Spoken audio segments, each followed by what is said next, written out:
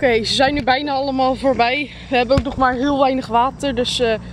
Oké, ik ben hier zo nu op de kermis. En er staan echt superveel attracties die ik echt nog nooit van mijn leven heb gezien in Nederland. En die ook gewoon in Nederland niet goedgekeurd zouden worden. Goudvissen kun je gewoon winnen. Gewoon in een plastic tasje kun je dat winnen. Echt allemaal van super rare dingen.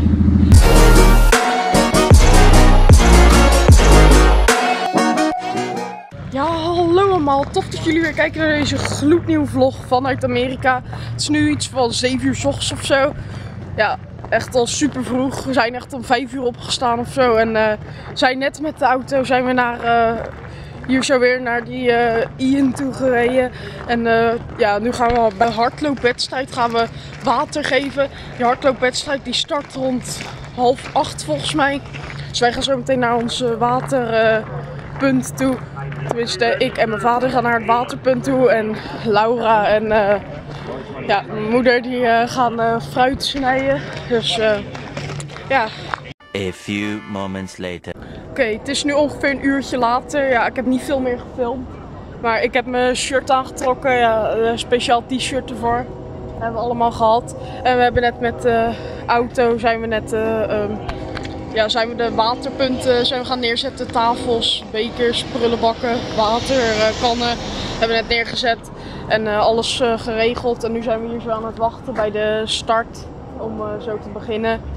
En dan gaan we straks in deze auto gaan we dan weer naar ons waterpunt toe. Er zijn er drie en wij staan bij nummer twee. Dus ik weet niet of ik heel veel ga filmen. ja, dat is natuurlijk best lastig zo. Maar oké, ik doe mijn best.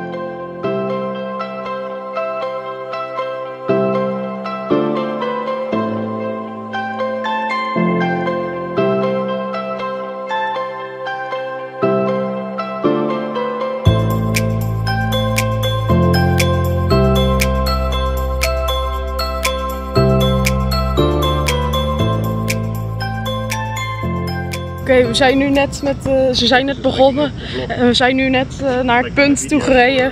We zijn bezig met eh, water te vullen. Hier staat de prullenbak en hier is de 5 kilometer turn. Dus ja, dan gaan we zo beginnen.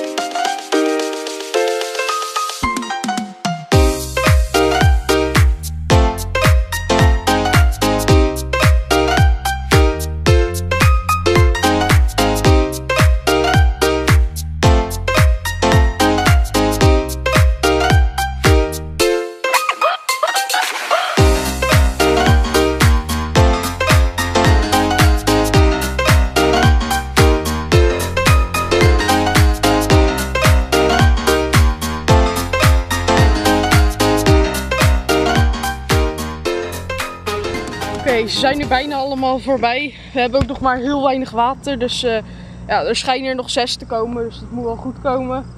En dan eh, is het voorbij. Dan eh, gaan we alles opruimen. Plastic opruimen natuurlijk. En dan is het klaar. Oké, toen gingen we alles nog even opruimen. En gingen we nog even bij Ian's huis langs. En daarna gingen we naar de markt toe. Ja, ik heb er echt super weinig van gefilmd. Dus het is in één keer drie uur later ongeveer. Oké, we zijn hier zo nu op de markt. Ja, hier gaan we nu even rondkijken.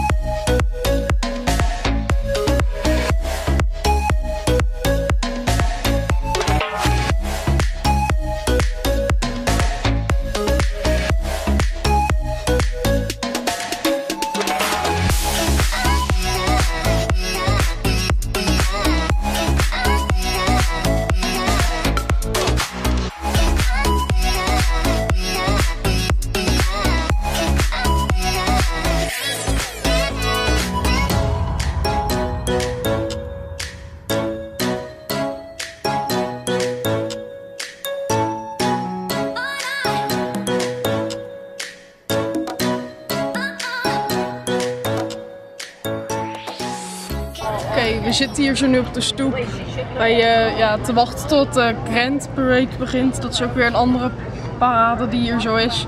Ja, hierbij komen schijnbaar alleen maar grote eh, showbands van eh, 300, minimaal 300 mensen. Dus dat is op zich ook best gaaf om te zien. Het is nu drie uur 's middags en duurt nog tot vijf uur. ongeveer.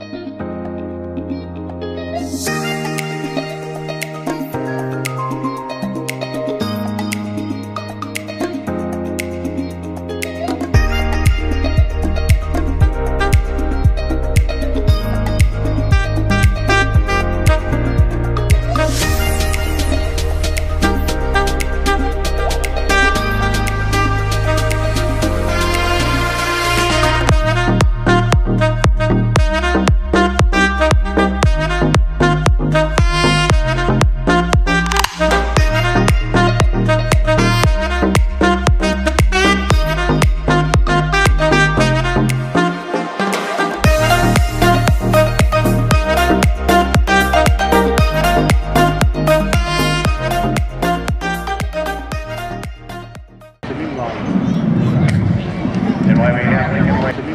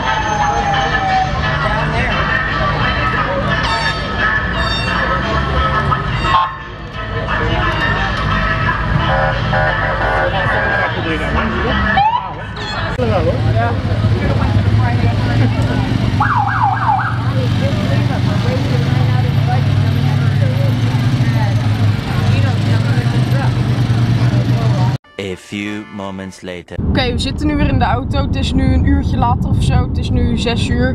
We zijn gelijk na die Grand Parade zijn we naar eh, Ian's huis gegaan om nog even wat te drinken. Het is nu 6 uur en we hebben om 7 uur hebben we afgesproken bij een restaurant samen met Ian en Jack. Ja, Jack is nog een andere kennis van ons. We hebben afgesproken om daar wat te gaan eten. Dat eh, restaurant dat is echt een 1 mijl vanaf eh, het hotel. Dus ja, dan gaan wij alvast richting het hotel. En eh, ja, dan, dan gaan we straks eten met hun.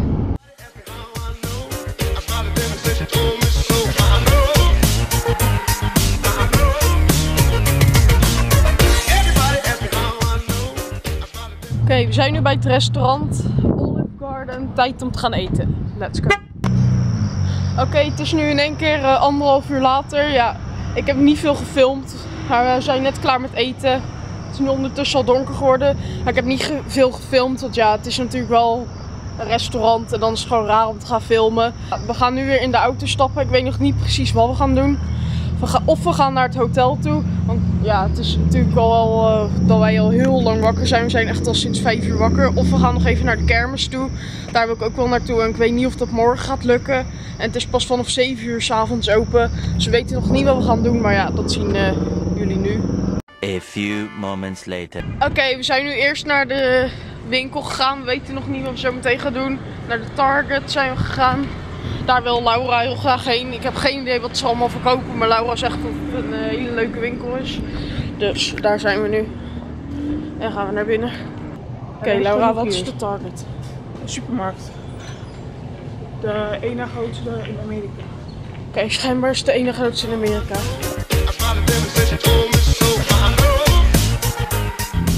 Oké, we zitten nu weer in de auto. We hebben net even wat spullen bij de winkel gehaald. Laura is een lamp op mij aan het schijnen, want anders zien jullie mij gewoon niet. Maar we zitten nu in de auto richting... Schijn wat beter. We zitten nu in de auto richting die eh, kermis, want die eh, sluit over anderhalf uur of zo. En eh, morgen oh, is die niet geopend en morgen is onze laatste dag ook. En we willen daar toch nog wel graag heen, dus daarom gaan we er nu nog heen. En eh, ja, we zijn nu halverwege ongeveer. En eh, dan gaan we zo naar die kermis toe en eh, kijken of we nog op het terrein kunnen komen. Want het is echt heel anders dan in Nederland. Je moet hier zo bijvoorbeeld al betalen om het terrein op te komen. Er is veel minder muziek, geen verlichting. En het zijn echt hele andere attracties. Dus ja, we gaan nu naar de kermis toe. A few moments later. Oké mensen, we zijn er nu. Hier achter me is het.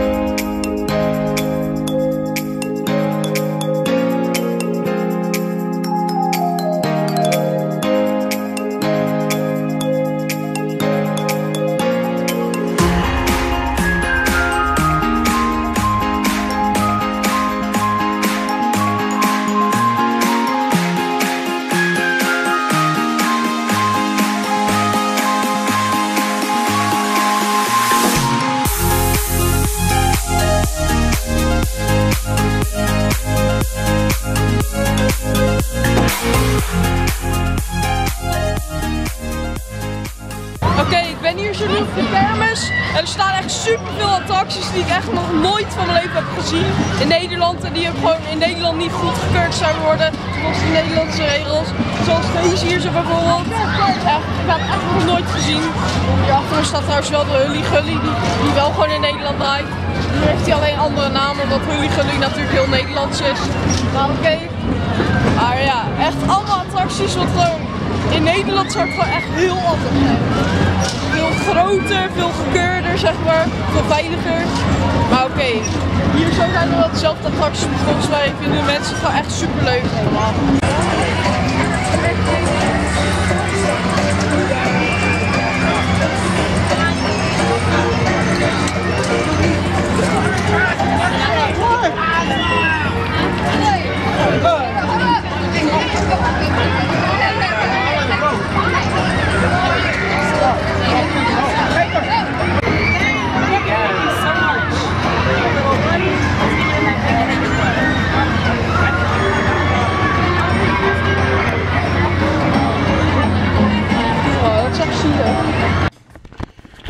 Ja, inderdaad mensen. Je kon daar dus gewoon op de kermis, kon je dus gewoon een vis gewoon in een plastic zak.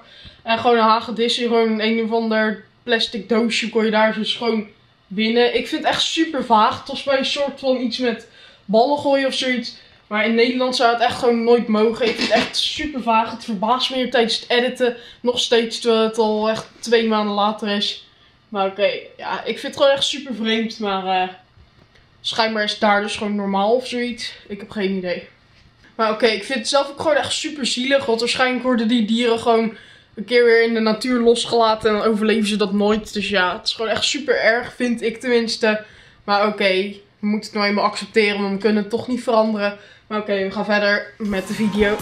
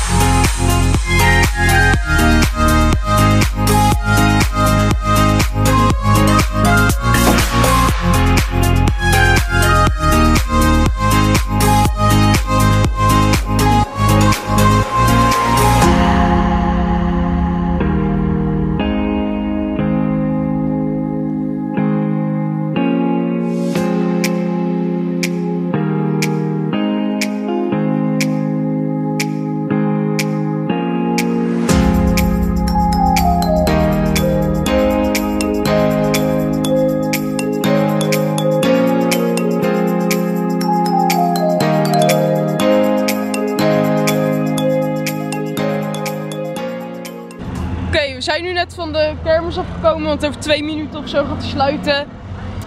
Ja, ik vind het eigenlijk best raar, want echt allemaal dingen wat gewoon in Nederland en gewoon sowieso in Europa niet mag, gebeurt hier gewoon nog wel. Zoals dat je gewoon in sommige attracties zit je gewoon helemaal, ja, niet echt vast, zeg maar. Dat In sommige attracties, zoals die ene die rond ging draaien met die bakjes. Ach, nu zien jullie hem even in beeld. Ja, daarin zat je gewoon eigenlijk niet eens vast. Dan zat je gewoon de hele tijd heen en weer te slingeren in, eh, ja, eigenlijk een soort van de kooi. En verder kun je goudvissen kun je gewoon winnen. Gewoon in een plastic tasje kun je dat winnen. Echt allemaal van die super rare dingen. En verder liggen er gewoon kabels eh, liggen gewoon over de grond waar sowieso mensen over gaan struikelen. Ze hebben zeg maar ook geen plateau waar je op kan gaan staan. Dus het is gewoon echt heel anders als in eh, ja, Europa. Ik had niet gedacht dat het zo zou zijn. Aan de andere kant had ik ook weer niet gedacht dat de verlichting juist weer wel zo mooi had geweest. Want ja, als je die kermis gewoon over bij daglicht zag, dan dacht je echt van wat is dat nou voor een oude kermis? Voor oude nostalgische attracties. Maar oké, we gaan nu weer naar de auto toe en dan gaan we richting het hotel. Het is nu half elf of zoiets. Dus ja, ik vond het gewoon in ieder geval heel raar. Het verbaast me ook gewoon. Ik denk dat sommige attracties eigenlijk voor de nostalgische kermis in eh, Nederland zou zijn geweest. Maar dat die eigenlijk niet eens op de nostalgische kermis zouden mogen draaien in Nederland. Dus ja, het is gewoon echt super raar. Maar oké, aan de andere kant hebben de mensen wel gewoon met de attracties die hier zijn nog gewoon echt veel minder extreem is. Hebben die misschien gewoon evenveel of misschien zelfs wel meer lol als andere mensen bij ons op de kermis, zeg maar. Dus ja. Maar oké, nu gaan we uiteindelijk wel echt naar de auto waar we eigenlijk al naartoe aan lopen.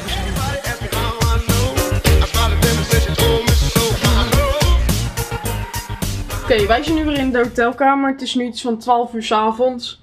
Ja, we gaan zo slapen, want we zijn echt al sinds 5 uur wakker. En het is nu al 12 uur s avonds, dus ja, en we willen morgen natuurlijk ook nog dingen doen. Morgen is onze laatste dag hier zo bij deze kennissen van ons. En gaan morgen gewoon nog de dingen doen wat we nog eh, wilden doen verder. Gewoon een paar losse dingen, nog bij een paar kennissen langs. En eh, ja. Oké, ik hoop dat jullie ook begrijpen dat vloggen soms natuurlijk ook veel lastiger is. Want ja, we zijn bij kennis en dan ga je natuurlijk niet alles vloggen. Ja, dat is soms ook gewoon raar om te doen. En eh, ja, sommige dingen dat wil je ook gewoon niet vloggen, omdat het ook gewoon saai is om te vloggen. Ik wil je in ieder geval bedanken voor het kijken naar deze video. Doe nog even dat duimpje omhoog. Abonneer voor meer en eh deel het met de mensen waarmee wilt delen. En hopelijk tot de volgende video. Later mensen.